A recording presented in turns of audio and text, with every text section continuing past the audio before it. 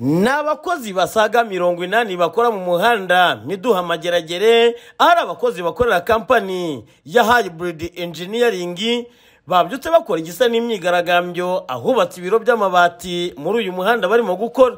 Nta kindi bagaragaza ni agahinda baterwa no kuba bamaze igihe kingana n'amezi abiri badahembwa. Ngo mu gihe bari barijejwe ko bagomba kuzajya bahembwa mu minsi cumi n'itanu ngo ariko kuri ubu ngubu bakaba baramaze gusohorwa mu mazu kwikora ku munwa byo ngo byabaye umugani. Aho barimo kurira yo kwarika bagasaba ko bakabaye batabarwa.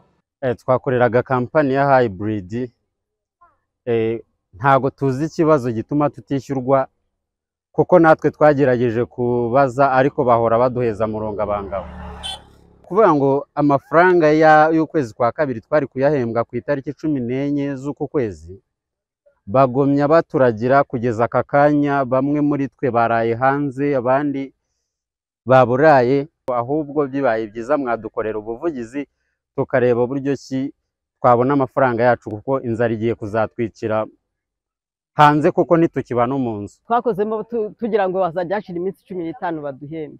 Ntabwo baduhembe. Ibibazo dufite twari dusanzwe dukora hano mu muhanda none ubu ngubu hakaba hashize amezi abiri. Tukaba turimo twishyuza amafaranga y'amezi abiri. Kudahembwa kwacu ingaruka byatugizeho. Ni ukuvuga ngo ubu tumaze igihe nta kintu cyo kurya kurya byarahagaze na ba nyir'inzu nabo nabo tubereyemo nabo baratwirukanye. Twebwe ingaruka hari ahantu twatse amadeni ntibagidukopa. Hari n'aho twabaga ba nyir'amazu baradusohoye.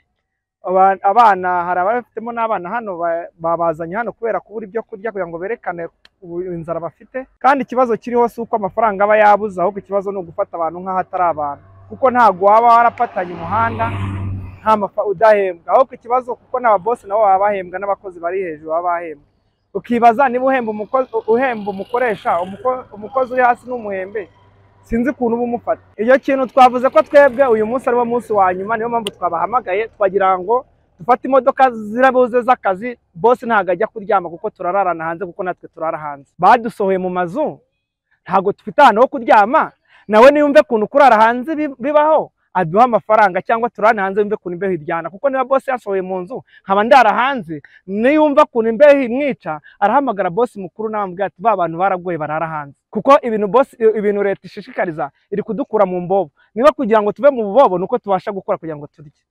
Kuba tutabasha kurya nabyumve nawe uwo bosi kerema yumve ko abantu bakeneye kurya. Ntabwo abantu baje kumukora kuko niba n'abashaka inyungu. Icya mbere uhema umukozi neza akoresha imbaraga. Icya kabiri iyo uhemba umukozi neza umubaza umusaruro kuko aba yahembwa ntiwamubaza ngo wakoze ibingana ute kandi inzara iri kumurya aha twababajije nimba bitaraza gufatwa nk'imyigaragambyo. Mu ijwi rishize amanga ku ruhande rwabo bashimangira ko nubwo byafatwa nk'imyigaragambyo ngo byibura bagafungwa ngo kubera ko ufunzwe ashobora guhabwa n'ibyo kurya. Ariko kugira ngo ugwe mu nzu waza ukabigaragaza ko ushonje abantu babyumva bashaka ugafungwa kuko uba ugiye kubona ibyo kurya. Rero kuvuga ngo umuntu ngo yigaragambije nta mpamvu yo kugaragaza ko yigaragambije kuko dufite umuyobozi mwiza aho abazwa. Ati kuki ba bantu baje kwigaragambya cyangwa baje kwishyuza?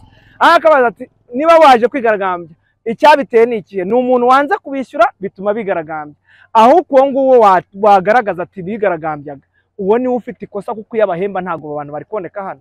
Twifuje kuvugana n'ukurikirana imirimo y'ikorwa ry'uyu muhanda uhagarariye hybrid engineering. Yirinda kugira icyo adutangariza ngo kuko ntacyo yumva yabwira itangazamakuru. Abayobozi bose twagerageje kuvugana nabo yaba ubuyobozi bw'akarere ka nyarugenge ndetse n'abayobozi b'umujyi wa kigali baruciye bararumira kuri iki kibazo. Dore ko bano bakora muri uyu muhanda bavuga ko bambuwe saga mirongo inani bavuga ko ubuyobozi bubigendamo bigura intege ngo kuko uyu mushoramari afatwa nk'ukomeye. Ikibazo cy'abarwiyemezamirimo bamaze kugira umuco kwambura ntabwo ari bwo bwa mbere cyumvikanye dore ko ari n'ikibazo cyanagarutsweho na nyakubahwa perezida wa repubulika paul kagame aho yavuze ko kino kibazo kigomba kwigwaho ndetse kikaba cyahabwa umurongo uhamye. Bambura abantu abo bikorera ba rwiyemezamirimo ntabwo byo bikwiriye kuba bihari.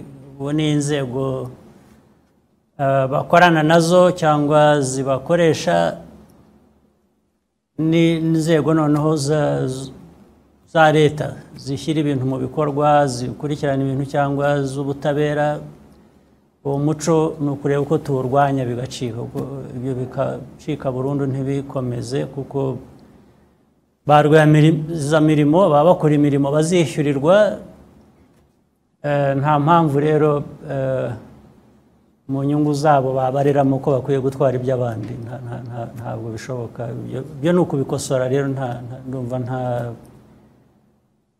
nta kindi navuga. Bigomba gukosorwa inzego zibishinzwe tuzazikangurira kugira ngo zi- zibikosore. Aba bakozi ubwo bahanaguwe amarira ku maso bakareka kwizirika umukanda bakishyurwa. Amafaranga bakoreye biyushya icyuya iyi nkuru tukaba tuzayigarukaho mu makuru yacu ataha btn tv mu karere ka nyarugenge mu mujyi wa kigali ndindahiro valensi papi.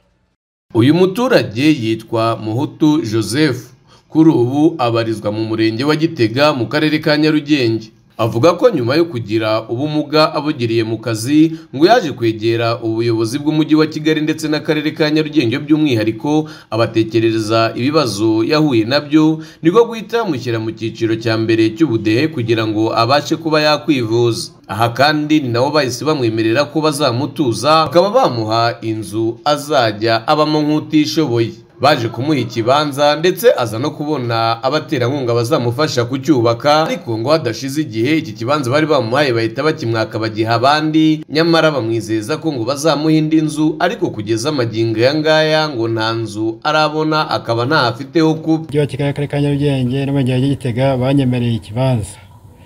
Mu bibanza bizatorwamo imiryango itishoboye iri mu murenge wa kigali rwesero.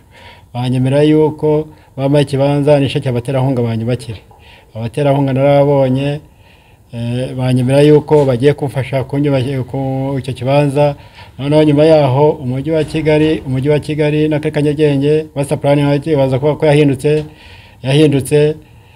Bo banyemera yuko bazama bazafasha bakampa inzu yuzuye.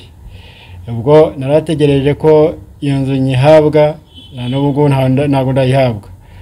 Noneho abafatanyabikorwa nyine bari banyemereye ko banyubakira baje guhagarara na n'ubu ngubu nyine ndacyaragira amaso yanjye aheze mu kirere ibyo nategereje sindabibona kugeza na n'ubu ngubu ndi mu cyiciro cya mbere cy'ubudehe kandi nkaba mbana n'ubumuga. Uyu muturage yagiye yegera inzego zigiye zitandukanye kugeza ubwo urwego rw'umuvunyi rwandikira akarere ka nyarugenge rusaba ko uyu muturage yahabwa ubufasha ariko n'ubundi kagategereza agaheba. Ubu ni ahantu ho kuba afite.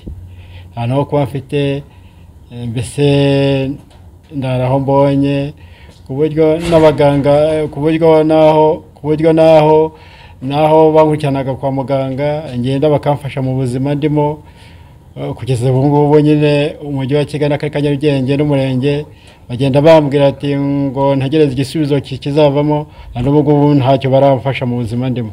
Eh, hari rgb ni ni minisiteri ni minisiteri zitandukanye zabandikiye. Na na eh, n'urwego rw'umuvunyi na primatire za Mine- minedike ngeze mu mujyi wa kigali ndagenda bakambese bakanyirukana. Akomeza yifuza ko ngo yahabwa inzu yo kubamo kugira ngo ubuzima buba arimo bube bwahinduka ngo dore ko arara ku muhanda inshuro nyinshi. Ndifuza yuko umujyi wa kigali n'akarere ka nyarugenge bama icumbi banyemereye no kuva mu bukene babishyize mu bikorwa baranabisinyira ko bazabimfashamo kwisana n'ubu ngubu. Mbese ku ruhande rwa mugambira etienne ni umunyamabanga nshingwabikorwa w'uyu murenge wa gitega yatangarije btn tv ko iby'iki kibazo cy'uyu muturage akizi. Ngo gusa bamusobanuriye bakamubwira ko ngo barebye bagasanga akomoka mu karere ka nyanza bamusaba kuba yakwegera ababyeyi be. Niba hari n'ubundi bufasha akeneye bakaba bamufasha ariko ari mu karere kabo. Inama tugira mu buto ni uko ya- yakwereka umubyeyi afite umubyeyi mu karere ka nyanza bakaguma gushakisha ubuzima nk'uko abandi banyarwanda bose bashaka. Noneho yaba ari muri yaba akeneye ubufasha n'ubundi leta ikamufasha nk'uko ifasha abandi banyarwanda bose.